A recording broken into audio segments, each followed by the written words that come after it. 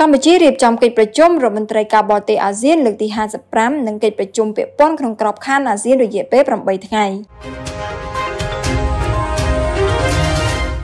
ពីថ្ងៃនេះកម្ពុជាក្នុងនាមជាប្រធានអាស៊ាននឹងធ្វើជាម្ចាស់ផ្ទះរៀបចំកិច្ចប្រជុំរដ្ឋមន្ត្រីការបរទេសអាស៊ានលើកទី55និងកិច្ចប្រជុំពាក់ព័ន្ធក្នុងក្របខ័ណ្ឌអាស៊ានរយៈពេល8ថ្ងៃដែលចាប់ពីថ្ងៃទី29ខែកក្កដាដល់ថ្ងៃទី5ខែសីហាឆ្នាំ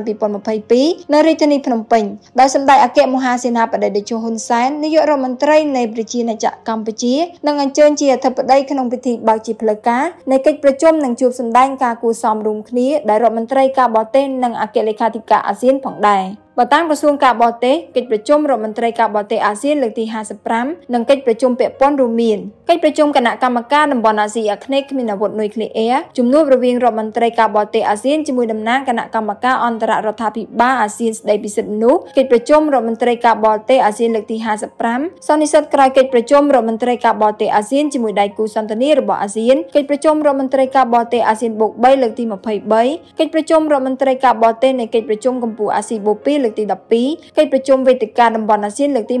29 ស្របពេលជាមួយកិច្ចប្រជុំរដ្ឋមន្ត្រីការបរទេសអាស៊ានលើកទី55នេះរដ្ឋមន្ត្រីការបរទេសនិងអគ្គលេខាធិការអាស៊ាននឹងអញ្ជើញធ្វើជាសាក្សីការចុះហត្ថលេខាលើលិខិតបកកនៃការចូលជាសមាជិកនៃសន្ធិសញ្ញាមិត្តភាពនិងកិច្ចសហប្រតិបត្តិការនៅក្នុងតំបន់អាស៊ីអាគ្នេយ៍ដោយប្រជាណាចក្រដាណឺម៉ាសាធារណរដ្ឋក្រិកប្រជាណាចក្រហូឡង់ប្រទេសអូម៉ង់រដ្ឋកាតា និងអារ៉ាប់រួមអេមីរ៉ាត់រដ្ឋមន្ត្រីការបរទេសនិងអគ្គលេខាធិការអាស៊ានក៏នឹងអញ្ជើញចូលរួមក្នុងកម្មវិធីប្រកួតពានរង្វាន់អាស៊ានឆ្នាំ2021ផងដែរបើតាមក្រសួងការបរទេសក្នុងឱកាសនៃកិច្ចប្រជុំរដ្ឋមន្ត្រីការបរទេសអាស៊ានលើកទី55នឹងមានកិច្ចប្រជុំត្រីភាគីចំនួន3ដែលដាច់ដោយឡែកពីគ្នារវាងកម្ពុជានិងលេខាដ្ឋានអាស៊ានជាមួយនឹងប្រទេសដៃគូសន្ទនារបស់អាស៊ានចំនួន3រួមមានប្រទេសន័រវេសប្រទេសទួរគីនិងប្រទេសស្វីស ក្រៅពីប្រទេសដៃគូសន្ទនាតាមវិស័យរបស់អាស៊ាននិងប្រទេសទាំង6ដែលចូលជាសមាជិកនៃសន្ធិសញ្ញាមិត្តភាពនិងកិច្ចសហប្រតិបត្តិការនៅក្នុងតំបន់អាស៊ីអាគ្នេយ៍ខាងលើប្រទេសចំនួន4ផ្សេងទៀតនឹងត្រូវបានអញ្ជើញជាភ្ញៀវនៃប្រធានអាស៊ានឆ្នាំ